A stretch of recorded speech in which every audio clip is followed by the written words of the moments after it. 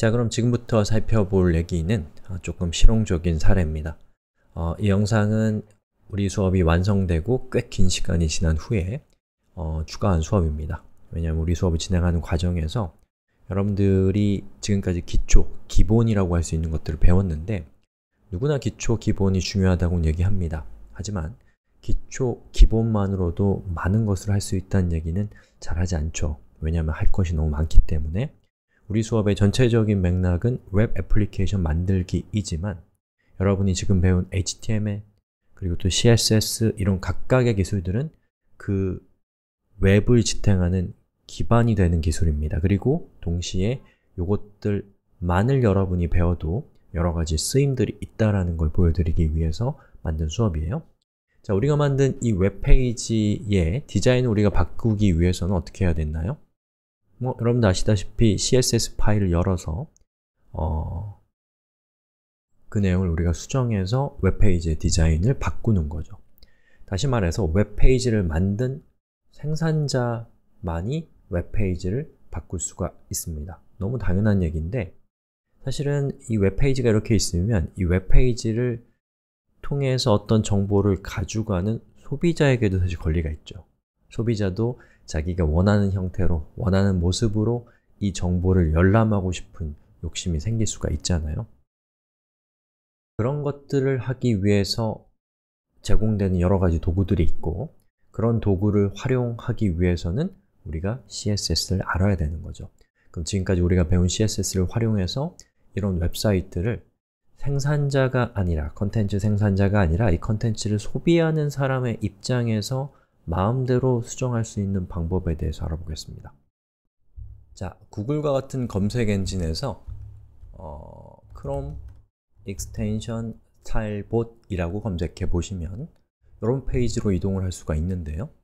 자, 여기에 있는 이 Stylebot이라고 하는 이 플러그인을 크롬에다가 설치를 하게 되면 어, 이렇게 생긴 아이콘이 나타납니다. 예, 여기 CSS라고 되어 있는 거 보이시죠? 바로 저 아이콘이 스타일봇을 실행하는 아이콘이에요. 자, 이렇게 다시 화면으로 들어가서 여기에 있는 이 스타일봇을 클릭해서 오픈 스타일봇이라는 것을 선택합니다.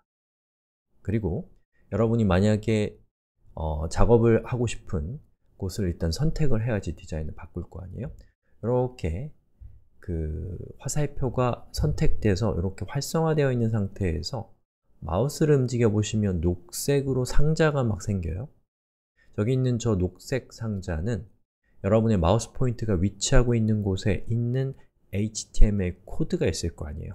그 코드의 경계를 나타내는 어, 가이드입니다. 그래서 만약에 여러분이 이 웹페이지에서 여기 있는 제목 부분이 너무 장황하고 부피를 많이 차지하는 거예요. 그래서 이거를 여러분이 안 보이게 하고 싶다.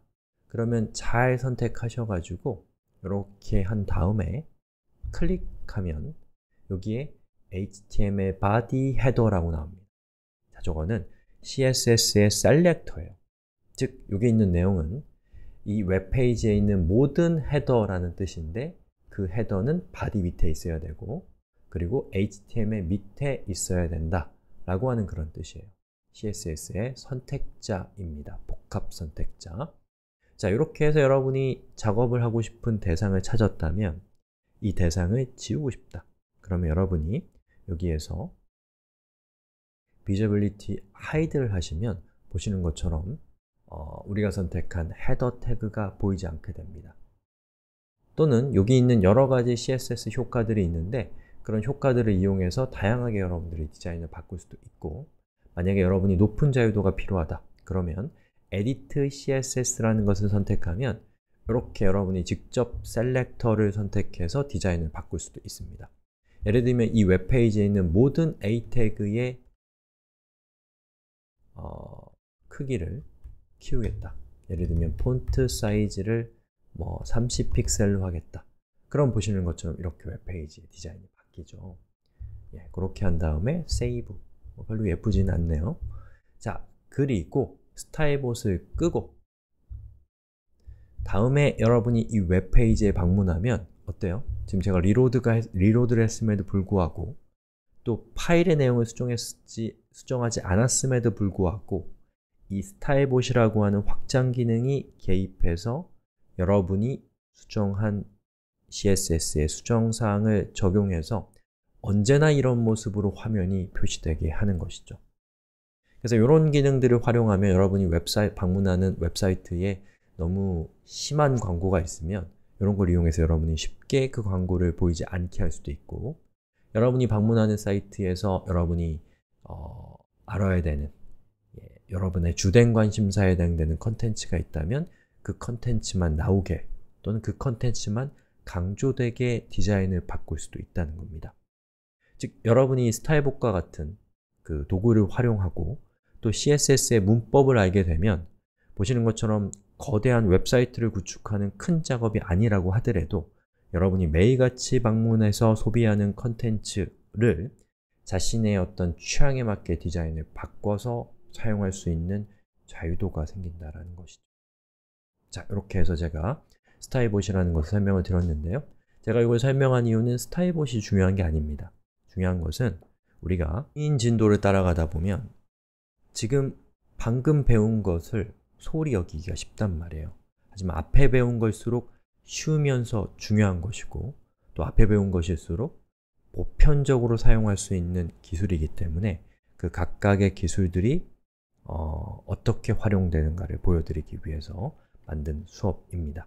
그래서 여러분들이 이런 스타일복과 같은 걸 통해서 좀더 어, 주도적인 생산자가 되는 것도 우리 수업의 중요한 취지가 아닐까 싶습니다.